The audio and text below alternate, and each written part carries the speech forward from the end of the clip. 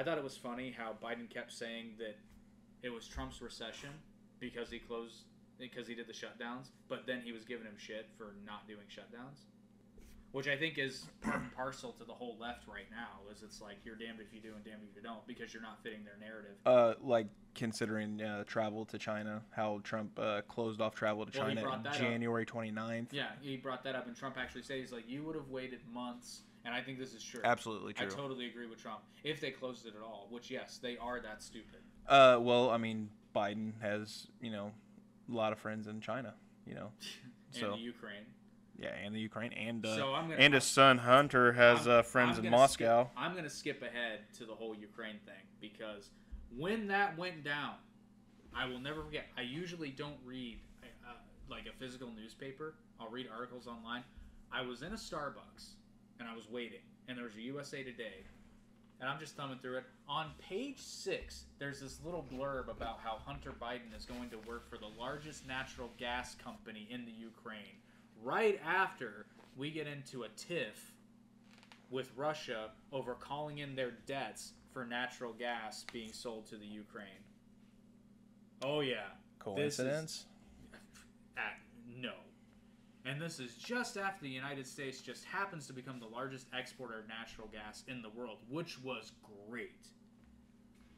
I find it more than a little suspect that the son of the sitting vice president becomes head of an international company that deals in natural gas for a country that is at odds with arguably our largest I don't even know how you would say that. I don't want to say adversary because that implies that we're hostile, but our, our biggest rival, I guess, on Yeah. the world stage in every facet and has been since the 50s at the very least. Antagonist? Maybe. Antagonist No. has an antagonist isn't negative, but it has a negative connotation. But I just find that more than a little suspect, and to say that that's a potential conflict of interest is Oops. obvious. And but I, I knew it was going to disappear, but then it came roaring back. Do I think he got money? You're damn right. I think he got money. Do I think he spent it on illegal hookers? You're damn right. I think he did. Do you think he spent it on cocaine? Yep. Do you know what put that all in the limelight?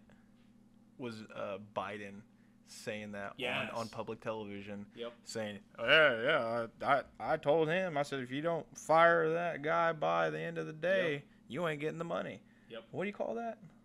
That's a quid quo pro. Quid pro quo.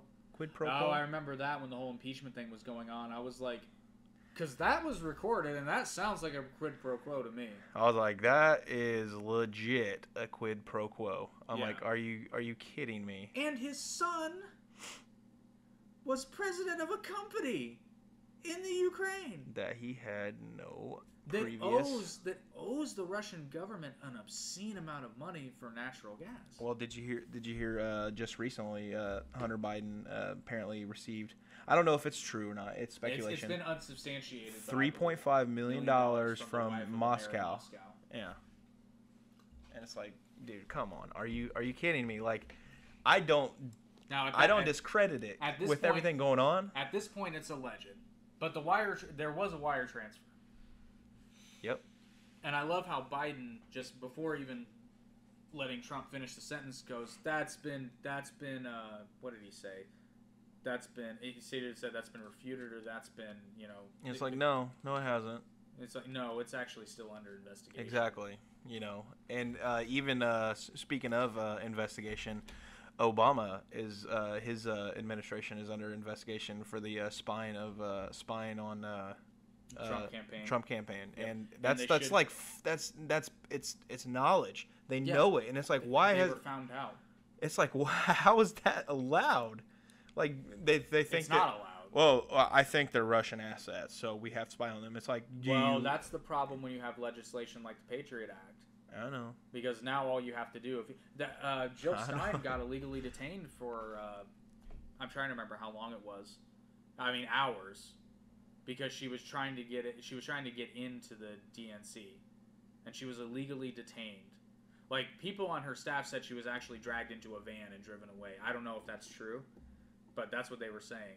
I'm pretty sure she'd be in some Ah. some type of therapy if that happened. Well, That shit's- yeah, that shit's I, I, I'd agree with that. I'd agree with that. That that would be a pretty terrifying thing. But she was detained. They they admit that, but they say it was a national security thing. It's like, you know who she is. Like it was common knowledge, Yeah, right. especially in the political world. You know who Jill Stein is. Is she a little crazy? Maybe, but she's not going to hurt anybody.